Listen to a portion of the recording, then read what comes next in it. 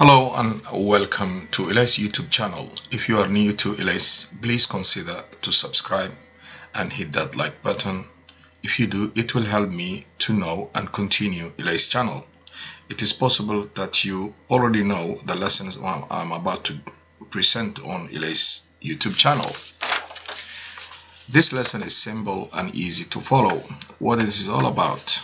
It's about computers and software and our lesson is how to know about what type of operating system you are running on your computer. In order to do that, follow me now. You just go to start and then go to this PC and then right click, go to property, a window will pop up.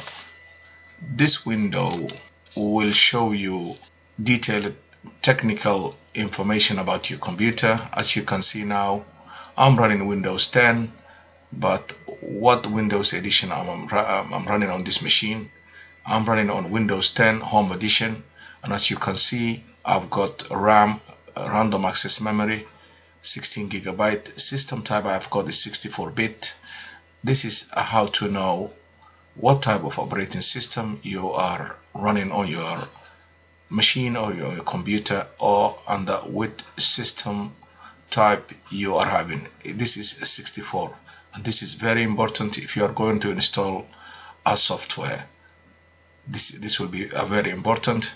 I hope this lesson is very simple and kept easy. And i hope you have actually benefited. And if you don't there are so many people out there who are also willing to know about this thank you very much for watching. Please consider subscribing and hitting that like button. It will help me and encourage me to continue. I'll definitely continue as well in aviation and in computing. And i'm just prepare i'm just preparing now.